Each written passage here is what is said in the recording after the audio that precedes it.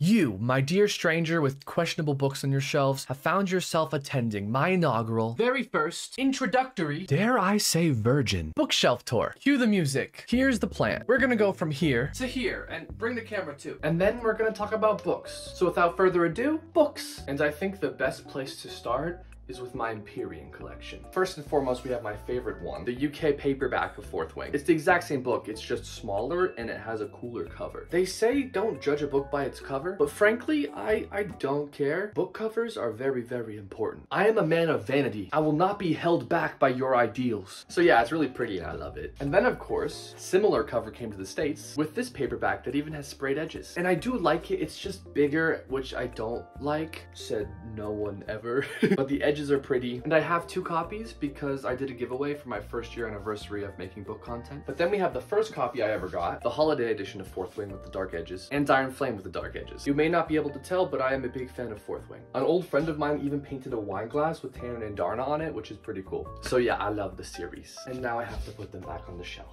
And if they're a little out of order, that's okay because I'm recording and I don't have patience right now. I'm working. Next, we have When the Moon Hatched. This book is special to me because I did a live interview of Sarah A. Parker, which I actually have a video of on this account. And a friend of mine actually went to one of Sarah's signings, and so I'm getting a signed copy mailed to me. But this is just a normal copy for now. If you like Fourth Wing, read this. If you like dinosaurs, read Uh, dragons. If you like dragons, read this. I guess if you like dinosaurs, you could also read this because the dragons kind of become fossilized, so it's it works. But yeah, another romantasy, not for younger readers. Speaking of books not for younger readers, we do have all the ACOTAR paperbacks, and I do have the original covers of ACOTAR as well. My good friend Leah found them at a used bookstore and then bought them and mailed them to me, which is a crazy thing to have happened. That's why you make connections, kids. They will buy you things and send them to you, and that is just like Yes. I mean, that's the meaning of friendship, right? So yeah, she's great. We are Leah fans here. And right here, I do have some Studio Ghibli films, which isn't really bookish, but I adore them. And so they're there and look at them and watch all of them if you haven't. I have more right here. These are the best ones. Totoro, Spirited Away, Mononoke, Howl's Moving Castle. We'll get to that. Yeah, I'm not really gonna go through all this because this is video games and Blu-ray and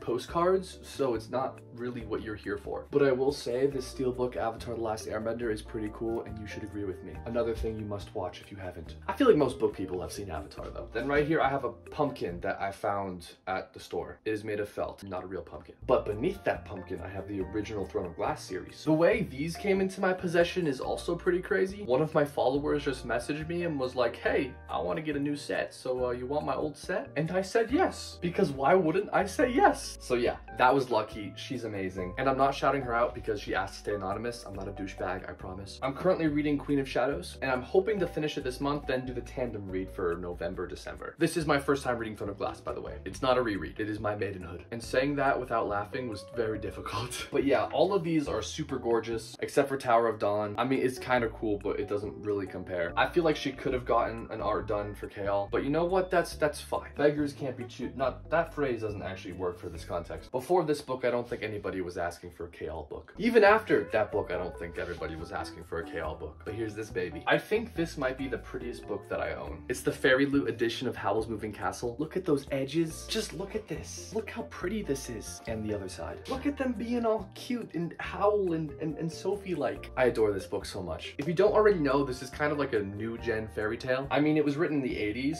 but it's much newer than like Snow White or Peter Pan. And it's a book that I will heavily recommend. It's super magical. And Studio Ghibli's movie adaptation is amazing. It's actually pretty different than the book, to be honest, but I don't really care. I don't think anyone else does either. I think most people saw the movie first, and let me tell you, they're just both such beautiful stories. If it isn't already on your TBR, please read Howl's Moving Castle and watch the movie. It is my favorite. I swear it's my favorite, bro. We got the OwlCrate edition of The Warm Hands of Ghosts, which is very fitting for this time of month. Another friend of mine, Mistral, sent me this. And look how pretty the poppies and roses are. I don't know, I like the cover. I'm a fan. And we both know how judgmental I am about covers. Over here, we got some interesting stuff going on. This was my new adult shelf. This is where we start getting into my young adult stuff. I actually have a lot more young adult books. I listen to a lot of audiobooks, so a lot of these are more just to have on my shelf, which I guess is just random knowledge and is not contextually relevant to what we were just talking about. But yeah, Cruel Prince, all three books here. Then we have the hardcover King of Elfhame. I freaking love this. It's a bunch of short stories, but it has like illustrations on the pages. Like, look at this. Like, it is so,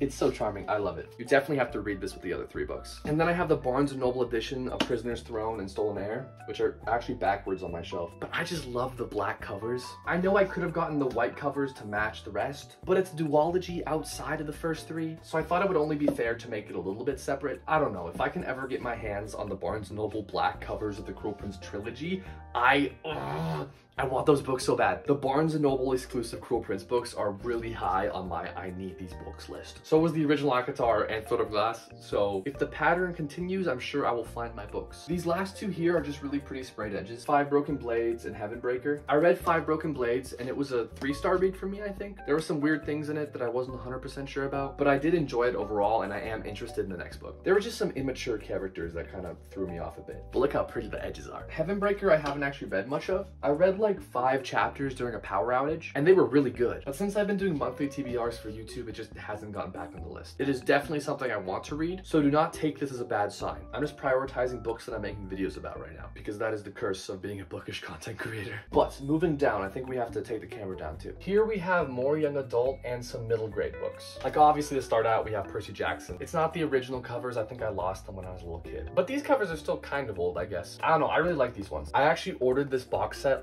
online and it came in a paper thin, unpadded envelope. So it's all torn and messed up. But they did give me a complete refund, which is pretty cool. So we can just pretend these are my childhood copies because of the wear and tear. I also have the first two Kane Chronicles books. I need to get the third copy. I just haven't gotten around to it. And the first book of the new Percy Jackson trilogy. And then right here we have my favorite book, Ready Player One, which isn't really on brand for me because I read a lot of fantasy. Fantasy is my favorite genre, but Ready Player One is just such a good book. It is a masterwork of sci-fi. I reread it every year and every single year I cannot put it down until it's finished. I start the book at 5 and I'm up until like 5 a.m. It is so good. Even if you don't know a lot about old games or stuff like that, you gotta give it a try. It's just, oh, five stars, five stars. A lot of you may have seen the movie, and the movie was good as a movie, but it's a pretty bad adaptation of the book and kind of made me a little bit sad. And as for the sequel, I haven't read it. I've heard really mixed reviews. It was only supposed to be one book, but after the success of the movie, he wrote a second one to make another movie, which is already kind of weird because there wasn't going to be another one. So yeah, I've just stuck to the first book. We had The Night Circus, this really pretty UK edition. This was one of those books that I didn't really think I would enjoy, but then the Vale Book Club voted it for a September read, and let me tell you, it was so good. It was a little bit slow to get into, but honestly, I feel like a lot of books recently are like that. But after you get about like that far, it picks up. It gets super interesting, and it's all contained in one book. It's not a series. I kind of wish it was a series, but at the same time, it probably wouldn't be as good if it was a series. But yeah, highly recommend The Night Circus, five stars. It made me write a review, and I almost never write reviews. I just do videos. So yeah,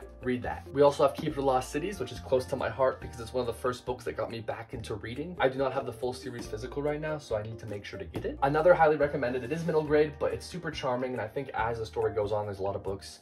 It gets more and more young adult over time. We have Reckless, not Powerless yet. I have to get a copy. I did a reading vlog on this book if you're interested. Then we have the Inheritance games. I devoured these books. I think I read all of them in two weeks. My favorite being the Brothers Hawthorne, which is a spin-off. It's the same characters and it takes place after the third book, but it's not really the fourth book. The timing is weird, but it's really good. And it made me love Grayson as a character, whereas early on I didn't really give a shit about him, which I know is not a popular opinion, but I'm not here to be popular. I actually, that is the exact reason I am here. That's why I make videos, to gain an audience. But you, I, that, I'm making a wholesome, I'm not an egotist, okay? Please, just trust me. And also, I enjoy making videos, but this is off topic. We have Six of Crows, which I'm, I'm about halfway, I wanna say, through Six of Crows.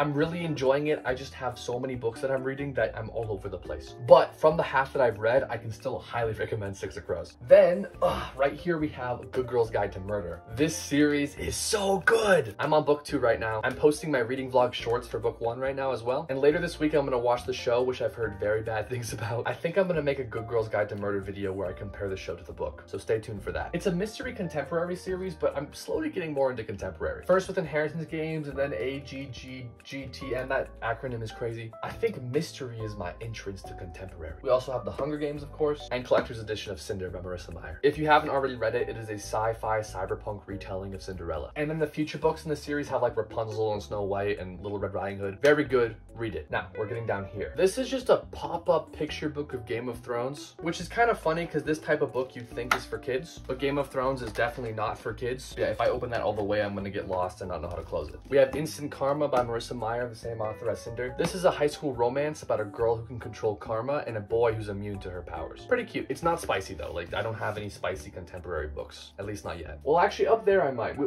we'll get over there. We also have Canadian first editions of Harry Potter, which I found in Canada this summer at a used bookstore. So that was pretty cool. I have the Philosopher's Stone, the Chamber of Secrets, and Goblet of Fire. Nope, Order of the Phoenix. I lied to you. Up here are books you probably don't know much about. They are comic book adaptations of Legend of Zelda Twilight Princess, which is one of my favorite video games, if not my favorite video game. Just know that I love Zelda, and we will move on. We have The Wizard of Earthsea, which is a really good classic. One Dark Window and Two Twisted Crowns. I'm reading One Dark Window right now for October's book club book, but it had a really slow start, and then I hit like chapter 10 and it really started picking up. So I'm thinking I'm gonna be able to recommend this. It's a dark fantasy romantasy book. I think there's some spice in the second one, but I'm not entirely sure. We have Sorcery of Thorns, which is another really pretty book. I mean, look at that. Oh, it's reflective. I love that. And then we have Daughter of the Moon Goddess, which was an okay read. Wasn't my favorite, but like I, I finished that in DNF. The Fault in Our Stars, which makes me cry. Paper Towns, which I haven't read yet, but I got it because The Fault in My Stars made me cry. And I was hoping this wouldn't make me cry, but now I'm scared. Then we have Heart of a Sun Warrior, which is the sequel to Daughter of the Moon Goddess. Uh, the Witcher books. Oh, the UK edition of Once Upon a Broken Heart. I've only read the first chapter of this book for a video I made. It's going to be up on one of those sides, but it was a really good first chapter, so I definitely want to read the series. I just think I should make videos about it, so I'm going to wait a little bit. And then we have New Cover, Throne of Glass, and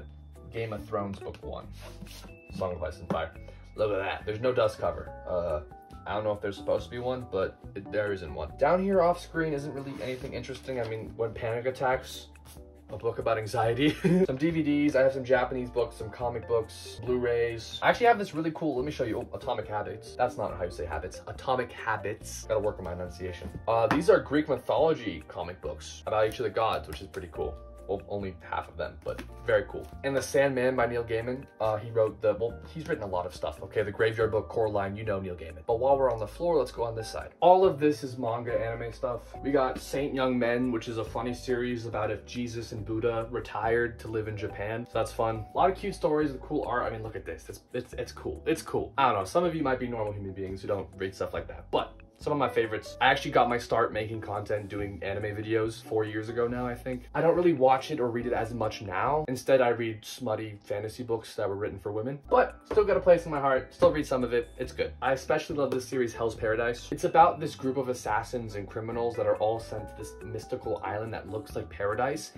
but it's actually hell and it's full of creepy, fucked up monsters. But they're all sent there to get the elixir of immortality and whoever gets it gets pardoned of their crimes. So it's a big redemption story and uh, it's pretty cool, but also kind of disturbing sometimes. It's got definite horror tones, which is also off brand for me because I hate horror. Look at Merlin.